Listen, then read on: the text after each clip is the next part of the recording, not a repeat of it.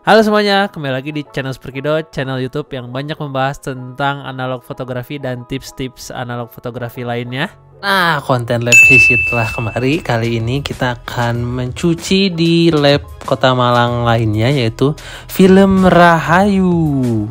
Oh ya, jangan lupa klik tombol like, tombol subscribe buat teman-teman yang belum subscribe dan juga tombol lonceng buat teman-teman yang gak mau ketinggalan info video-video terbaru di channel Superkido. Terima kasih. Nah, sebelum lanjut ke videonya, gue mau ngasih dulu nih lokasi film Rahayu itu ada di mana. Nah, alamatnya itu ada di Jalan Mandalika nomor 10, Bareng, Kecamatan Klojen, Kota Malang, Jawa Timur. Nah, film Rahayu itu buka dari jam 11 pagi ya, jam 11 sampai dengan jam 8 malam ya, teman-teman.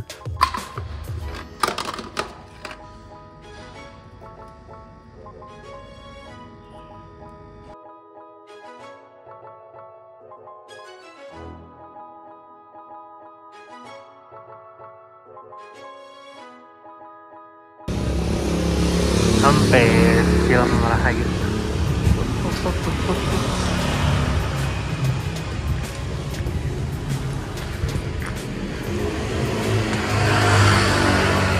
Nah yang unik dari film Rahayu yang beda dari rap-rap lain itu saat gue mau drop filmnya kan biasanya kita diberikan form itu untuk nyu untuk nyuci kita uh, isi sendiri pakai pulpen.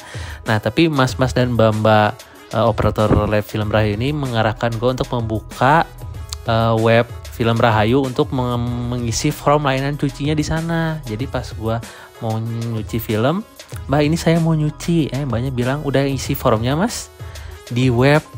Uh, formnya ada di web. Nah, langsung kita buka deh webnya. Gue buka dari HP. Nanti tampilannya akan seperti ini ya. Nah, kita pilih form layanan cuci scan yang paling atas diklik.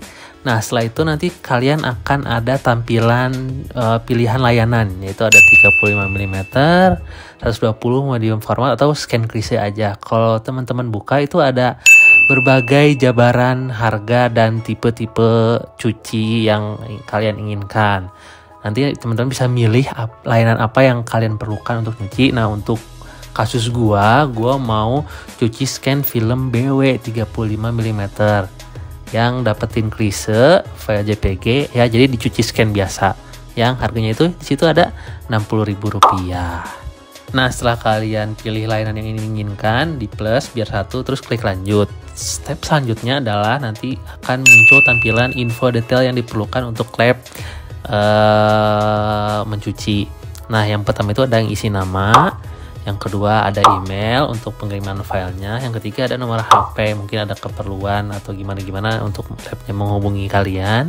Terus yang ketiga ada boleh posting di Instagram at film rahayu jadi sih kali uh, film kalian itu ditanyain uh, boleh nggak di post di Instagramnya film rahayu gue kalau boleh ya tinggal dicentangnya gue gua ya nggak apa-apa dicentang terus nanti di bawahnya ada tulis uh, akun Instagram kalian at superkido uh, untuk gua mungkin untuk di tag atau lainnya.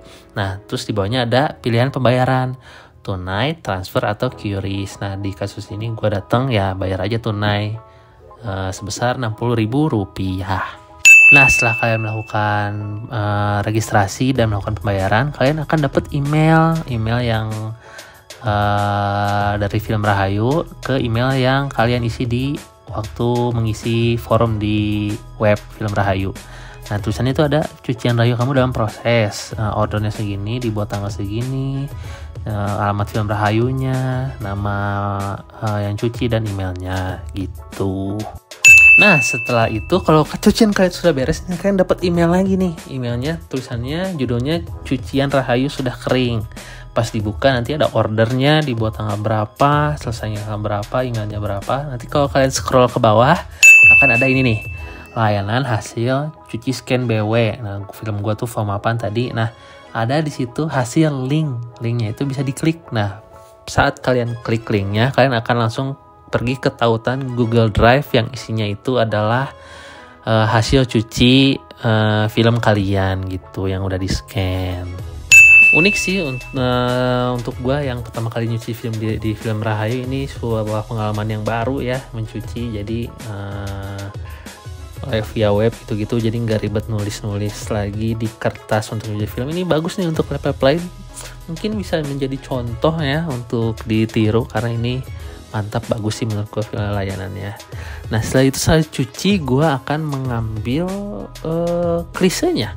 Kita akan ngambil klise jalan lagi ke film Rahayu nah ini udah udah gue ambil filmnya Nah, jadi klisenya itu bentuknya itu seperti ini. Uh, eh, gue lupa ngevideoin waktu ngambilnya, tapi gue fotoin. Nah, jadi kayak dapat amplop gitu. Nanti kalau kalian buka isinya klisenya.